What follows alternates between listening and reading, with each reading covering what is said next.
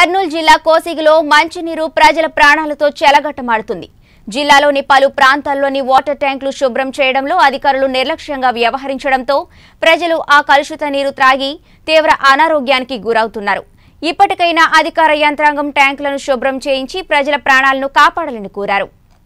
కర్నూలు జిల్లా కోసిగిలో పదిహేను రోజులకు ఒకసారి ట్యాంకులను శుభ్రం చేయాలి కానీ ఇక్కడ ఏళ్ళు గడిచినా నీటి ట్యాంకులను శుభ్రం చేయకుండా అధికారులు నిర్లక్ష్యం చేస్తున్నారు. లక్ష ఇరవై వేల లీటర్ల సామర్థ్యం కలిగిన ఓవర్ హెడ్ ట్యాంక్తో పాటు రెండు లక్షల లీటర్ల సామర్థ్యం కలిగిన పంపు నుంచి కోసిగి గ్రామానికి సగానికి పైగా త్రాగునీరు సరఫరా అవుతుంది. ఇంత పెద్ద గ్రామానికి త్రాగునీరు సరఫరా చేసే ఓవర్ హెడ్ ట్యాంకులను సంవత్సరాలు గడుస్తున్నా శుభ్రం చేయకుండా అధికారులు నిర్లక్ష్యం చేస్తున్నారు. పదిహేను రోజులకు ఒకసారి ట్యాంకులను శుభ్రం చేయాల్సింది పోయి సంవత్సరాలు గడిచినా ట్యాంకులను శుభ్రం చేయకుండా పోవడంతో త్రాగునీరు ఎంతవరకు కలుషితం అవుతుందో తెలియని పరిస్థితి ఏర్పడింది.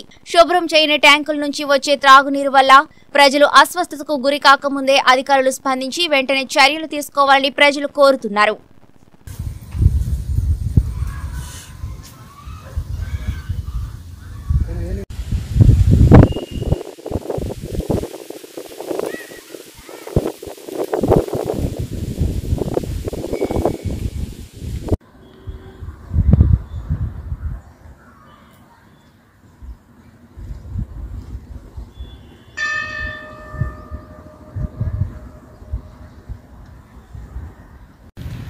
Bakalım.